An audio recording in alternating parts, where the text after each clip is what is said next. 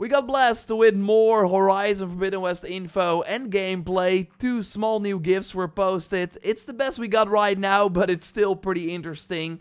I'm still holding my fingers crossed for a brand new trailer at the Game Awards on December 9th. Let's start with one of the new gameplay bits. We namely see Aloy in a brand new Utaru inspired outfit. We had the Utaru Harvester in the summer gameplay trailer and now we see a slightly different variant on that. In Zero Dawn we could already meet Ray from the Utaru tribe, but overall they were not really prominently featured. In a recent blog post though, Guerrilla shared that they will be featured more heavily in Horizon Forbidden West with an updated design, grounded fashion construction, and expanding the use of materials to create a practical clothing to fit their day-to-day -day activities. And we already saw their updated design of course in the first trailer, and now Aloy has multiple outfits inspired by this tribe.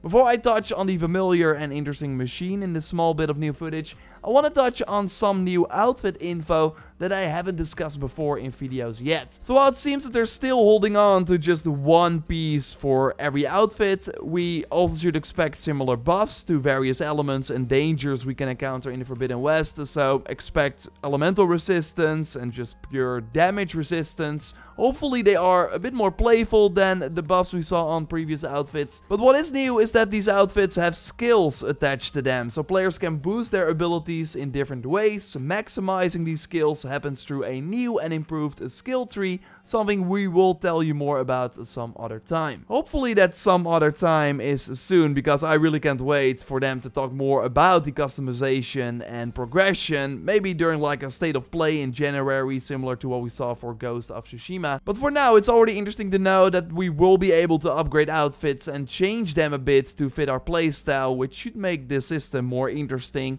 Now, fingers crossed for transmog at launch, so we can have Aloy look the way we want, while keeping the stats from a different armor set. And yes, Ravagers are back as confirmed by this GIF, with the gun of course they have on their back, which Aloy is now removing. Of course, if you would then pick that up in Horizon Zero Dawn, you would be able to unleash that full magazine on nearby enemies felt always really satisfying, so seems like this mechanic is back and likely expanded upon for the new machines. And talking a bit about some of these older machines, because they now note in a new blog post that some of the machines encountered during the events of Horizon Zero Dawn will be present in the upcoming sequel. So not all of them will be back, which is kind of surprising in a way. We already know the Snapmaw is of course back to mostly be annoying while we explore the underwater areas. They also mentioned that the Watcher will be back in Forbidden West, Iconic, makes sense, and we of course saw the Charger as a mount in the first trailer,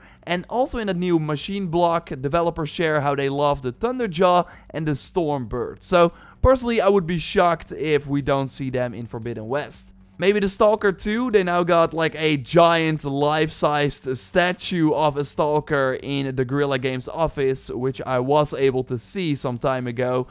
You would think that they would then put that machine also in Forbidden West, although this is not confirmed. And by the way, if you like the video so far and enjoy the Horizon content here on the channel, then leaving a like on the video would of course really help me out. We're also doing a giveaway for the Digital Deluxe Edition, which you can enter via the link in the pinned comment. And these giveaways are only for subscribers of the channel. So before I look at the other new gameplay and some brand new mechanics that will be added in the game, let's talk about more returning machines and also likely absent machines that will likely not be in Forbidden West. I personally think the Frozen Wilds machines will also be in Forbidden West because those were only part of the Frozen Wilds expansion, so I think only a small portion of the player base played them, so they will be new for those people. Like, Personally, I think that the less popular machines stay in Zero Dawn, like the Rock Breaker or the Trampler and the Long Leg. I personally would have hoped that all the machines would be back in Forbidden West, then you already have like a huge catalog, and then adding on to that would mean a ton of different enemies. But I guess you gotta have some exclusives to the first game, and it of course also takes time to bring them all over to the new game and make them exciting again, I would imagine. And Maybe like in terms of lore, it also makes sense that not all the machines from the Zero Dawn area are in the Forbidden West. At least let the Glint Hawks stay in Horizon Zero Dawn. Like, I don't need these annoying birds anymore in Forbidden West. And we now got the Sunwings as well to take over their spots. And we now learned that these Sunwings will be vulnerable when they are harvesting solar power. But are also more alert to potential predators when they are idle. So good to keep in mind that when you see a Sunwing that you are careful because they are more easily alerted. Other new machines are showcased in the second gameplay GIF. Seems that the Claw Strider ignores the new flamethrower attack from the Tremor Tusk. Like they already revealed many abilities for this war element. So awesome that out of nowhere they revealed another one. And we by the way now learned that the purpose of the Tremor Tusk in the world of Horizon is to protect machines from humans. So we will likely see them protecting less capable enemies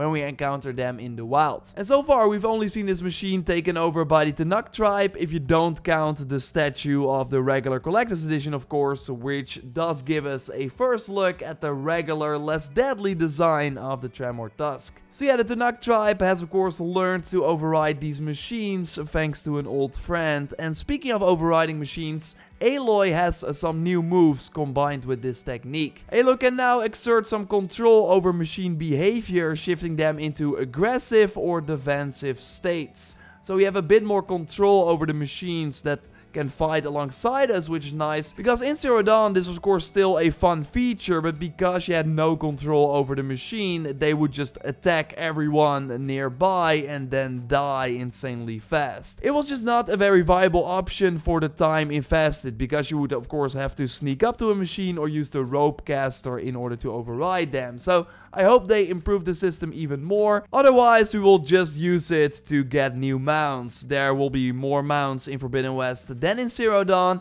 And it seems like a great tactic to start a combat encounter on the back of a machine. Because now also in this new GIF, we see that Aloy can jump from a mount and enable the slow motion to carefully hit the enemy. And I'm either stupid or it, this really new, right? Because I know some other games did this, like Assassin's Creed has this, but when going back to Horizon for this video, I wasn't able to find an option to jump off the mount. Maybe you remember that riding on the mount during combat in Zero Dawn was never really smart as you would be a very easy target for machines. So it seems like that has changed with enemies of course using machines and riding them to fight you. And we now see a lot of official Aloy mounted gameplay as well. So it seems like a solid option in the sequel. I by the way went a bit more in depth on that blue outfit. I still think it's a Carja armor we also see in this GIF. You can check that video out by clicking on the screen in a moment. I, by the way, also put the GIFs back to back on my second channel so you can watch them without any editing as many times as you want. Link to that will be in the pinned comment. Subscribe for everything Horizon if you haven't already. A like on the video would of course really help me out. And check out that previous video I did on the recent info and other gifts by clicking on the screen. For now, I will see you in the next one. Goodbye.